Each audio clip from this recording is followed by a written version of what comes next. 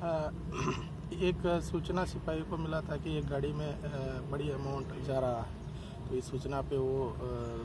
उन लोगों ने गाड़ी को रोक के चेकिंग करवाए हैं और उसको अलग से लेके जाके उनसे लेन देन की बात की है सिपाहियों ने। तो इस संबंध में जैसे सूचना मिली तो हम लोगों ने उसको चेकिंग करके पकड़वाए हैं और दोनों मौके पे दोनों सिपाहियों को भी पकड़वाए थे तो इस पर जो उस व्यापारी की तहरीर पर मुकदमा पंजीकृत कर किया गया है और ये दोनों सिपाहियों को न्यायालय के सामने पेश किया जा रहा है